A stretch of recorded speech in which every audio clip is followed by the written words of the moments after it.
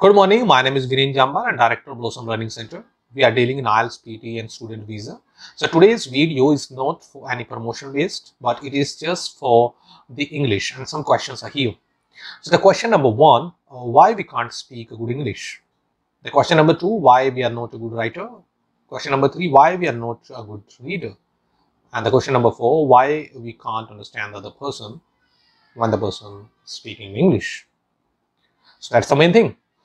So the question is that if we are belongs to our regional language and all the things, uh, if we based from the India, so we are very good in Hindi and everybody can speak one language in a very good way. Unfortunately, if you're born in another family like Punjabi family, so you can speak Punjabi and Hindi at the same time. So you learn two languages before the age of three. And right now you feel struggle and you're just feeling too suffocated to speak in English and you're always just in the fear because of this language. So what's the reason behind it? I want to ask to all of you if you are bilingual and you can speak, write, read and listen two languages and more than two languages in some cases. So what's the difficulty with English? On the other hand, the English is the simplest language in the world. Total 26 total alphabets and the grammar is up to just two to three pages approximately.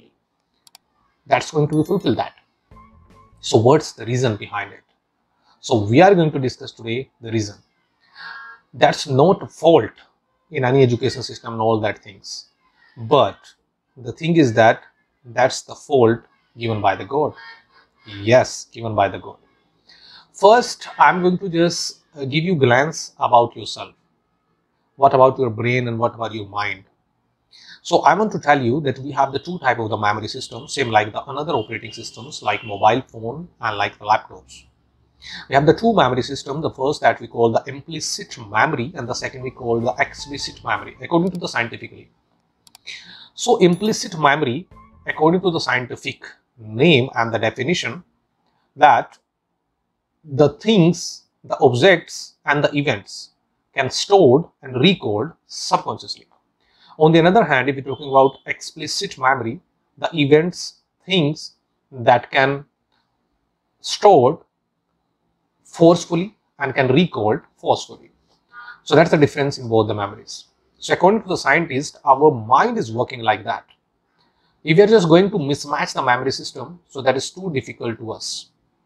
So by the way, we are just spending our 14 years and more than 14 years in some cases in the schools and the institutions and every year, every semester we used to read, listen, speak and all the things in English or we can say the one subject always in our curriculum and that's compulsory for all of us.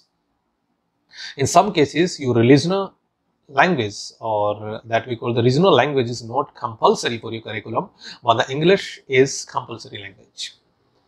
So what is happening here?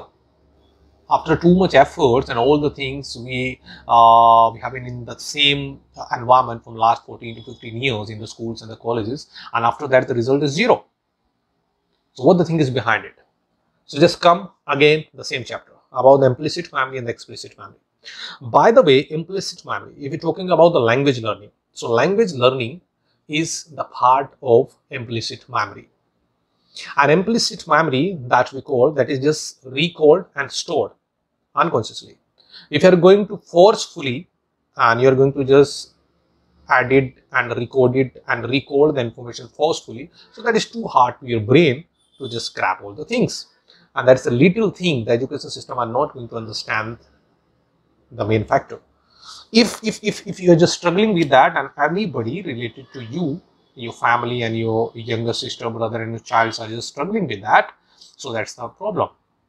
We have to create an environment around us to learn this English. Same like the Hindi and Punjabi.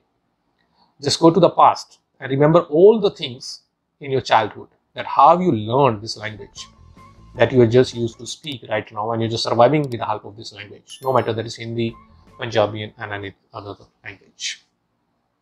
So go once again and start to learn this language. You need at least three to six months to learn this language, but the process should be good. The process should be like that, that we have to just do all the things implicitly.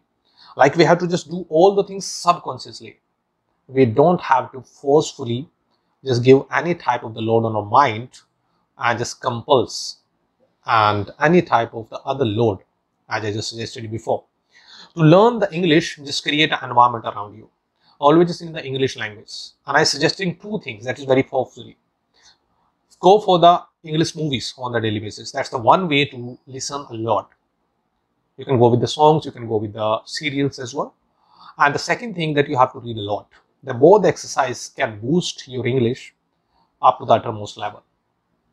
So if you're just doing the same mistake, same like everybody is doing in this country right now, and everybody is just thinking that I am just in the schooling system and the university and all that, and I just learn that language.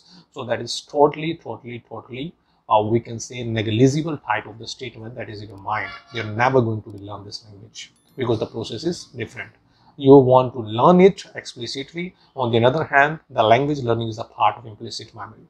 Implicit memory, once again, I'm just uh, going to describe this a little bit more.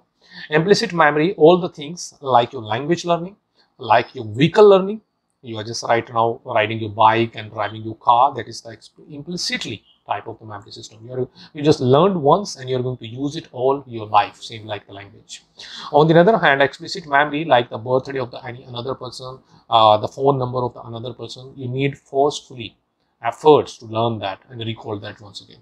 So that's all the difficulties. Because of that, we are just feeling and just fearing with this language. If you just do all the things I just suggested to you, you can easily curtail with this and you can easily learn this language. So I feel that you understood all the things about the implicit and explicit memory and that is very beneficial for you. Have a nice day. Bye bye.